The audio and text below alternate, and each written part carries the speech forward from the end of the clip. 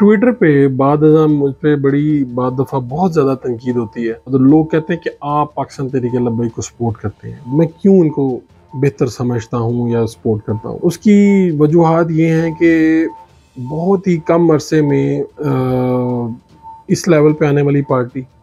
और ख़ास तौर पे उनका जो मिशन है वो तो हर मुसलमान का मिशन है भी और होना भी चाहिए। सराजुल हक साहब की भी चीज़ों को प्रोमिनेंट किया, लेकिन साद रिजवी ये लोग हैं, इनके पास वसाइल नहीं है। ये लोग किसी सियासी पार्टी की तरह पुराने नहीं हैं।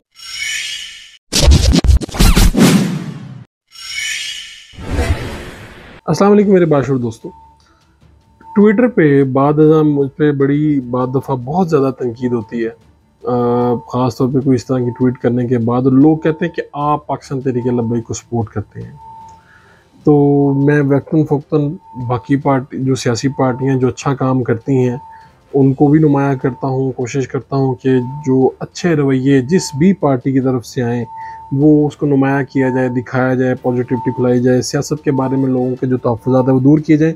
लेकिन मैं इस वीडियो में बताने जा रहा हूँ कि पाकिस्तान तरीके लब्बई को आप सपोर्ट कह लीजिए या मैं तो इसे कहूँगा कि मैं कोशिश करता हूँ कि अगर कोई अच्छा काम कर रहे हैं उनको। लेकिन अगर आप इसे सपोर्ट भी कहना चाहते हैं तो आप सपोर्ट कह लें। मैं क्यों करता हूँ? उसकी मैं चंद एक वजूहत आपके सामने रख देता हूँ। बतौर सहाफ़ी मेरे लिए पाकिस्तान तरीके लब्बैक भी एक सियासी जमात है जिस तरह बाकी सारी सियासी जमातें हैं। लेकिन आ, बहुत से इतराज़ात हैं। मेरे भी तरीके लब्बैक पे मैं उनकी क्यादत तक पहुँचाता भी रहता हूँ। कारकुनान से भी बात करता हूँ। लेकिन उस सब के बावजूद मैं क्यों उनको बेहतर समझता हूँ या सपोर्ट करता हूँ। उसकी वजूहत ये हैं कि बहुत ही कम अरसे में आ, इस लेवल पे आने वाली पार्टी और ख़ास तौर पे उनका जो मिशन है आ, वो तो हर मुसलमान का मिशन है भी और होना भी चाहिए। अच्छा इसमें दरमियान में चूँकि ये बहुत जल्दी पार्टी मंजिल आम पे आई और बहुत जल्दी छा गई खादम शाह रिजवी साहब की ज़िंदगी में भी चंद एक चीज़ों पे इख्तलाफ किया जा सकता था और किया, करते भी हैं। लेकिन जो जितनी जल्दी इन्होंने ग्रो किया और जितनी जल्दी इन्होंने सपोर्ट हासिल की, वो उनके एक नारे और उनकी जो एक सोच है और जो अप्रोच है और जो विजन है उसके ऊपर वो किया। अब साद रिजवी इसके कायद हैं। सरबराह हैं। और वो चाहते हैं कि बहुत सी चीज़ें वो अच्छी करें और कर भी रहे हैं। मिसाल के तौर पे मैं क्यों सपोर्ट करता हूँ? मैंने अलखिदमत फाउंडेशन को भी सपोर्ट किया। सराजुल हक साहब की भी चीज़ों को प्रोमिनेंट किया। लेकिन साद रिजवी ये लोग हैं, इनके पास वसाइल नहीं हैं। ये लोग किसी सियासी पार्टी की तरह पुराने नहीं हैं। नए लोग हैं। लेकिन आप देखें कि मैंने जिन जिन लोगों से पूछा उन्होंने बताया कि सलाब मुतासरीन के पास अगर हमें कोई दो लोग मेन जमातें नज़र आती हैं तो जमात इस्लामी के अलखदमत फाउंडेशन नंबर वन, जिनके पास बड़ी ज़बरदस्त टीम है, उनकी प्लानिंग बहुत अच्छी है। और नंबर टू पे तरीके लब्बैक जो नए भी हैं, जिनके पास शायद उस तरह से ट्रेनिंग वाले बंदे भी नहीं हैं, लेकिन उनका जज्बा बड़ा मस्बत है और बहुत ही पॉजिटिव अंदाज में वो हर मुसीबत के वक्त पहुँचते हैं। अच्छा एक तो ये कि आप किसी भी पार्टी को देखते हैं कि उनका मामला के ऊपर उनकी क्या अप्रोच है। बहुत से लोग उनके ऊपर कहते हैं कि शायद ये इस्टबलिशमेंट के, इनके पीछे इस्टबलिशमेंट है और ये नून पर तनकीद नहीं करते। मुझे याद आया कि इससे पहले इन पर इल्ज़ाम लगा करता था कि ये नून लीग के लिए बनाई गई है ये जमात। और उसके बाद फिर आज का इल्ज़ाम लगता है, पीटीआई वाले दोस्त ज़्यादा लगाते हैं कि ये जो जमात है, ये पीटीआई को करने के लिए बनाई गई है।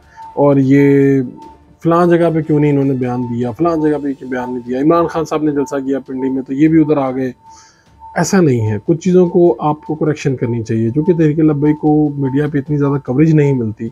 इस वजह से उनके ये बयान भी सामने नहीं आते। मैं जब जब मुझे कन्फ्यूज़न हुई मिसाल के तौर पर पिंडी वाला जलसे के बारे में कहा जा रहा था कि वो क्या मनसूख किया जा रहा है, मैंने उनके ज़िम्मेदारान से पूछा, पता चला कि नहीं मनसूख हुआ। अच्छा इसी तरह आ, कहा गया जी कि ये जी आप फ़लाँ मुल्क के ऊपर तो करते हैं अब कहाँ पर हैं? खामोश है। खामोश नहीं है। उनका पाकिस्तान तहरीक इंसाफ या नून लीग की तरह मीडिया सेल इतना वाइब्रेंट नहीं है या इतने वसाइल नहीं है आप कह सकते हैं। अच्छा और सबसे मेन बात ये कि इनके ऊपर एक तशद का इल्ज़ाम लगाया जाता है जिसमें इनके कुछ कारकुनान का भी बड़ा अमल दखल है जिनकी वजह से ये सच भी लगने लगता है। मैं इनको इसलिए भी करता हूँ कि ये पाकिस्तान की एक सियासी जमात बन कर उभरे। ना कि इनके ऊपर ये कोई, इनके दरमियान में कलादुम करार दिया गया और इनके ऊपर ये इल्ज़ाम भी लगता है कि यार ये तशद को पसंद करते हैं, ये मज़हब के ऊपर ये वो। अच्छा अब मुझे बड़ी अच्छी खबरें आ रही हैं। पाकिस्तान तरीके बैग में बहुत ही मॉडर्न भी ज़रूरी नहीं कि आपकी दाढ़ी है तो आप इसमें आएँगे, आप मजहबी हैं तो आप इसमें आएँगे। हाँ उनकी आइडियोलॉजी तो है ही, लेकिन इसमें बहुत से सियासी विजन रखने वाले लोग भी आ रहे हैं और हम देख रहे हैं कि अच्छे अच्छे कैंडिडेट यहाँ पर आ रहे हैं।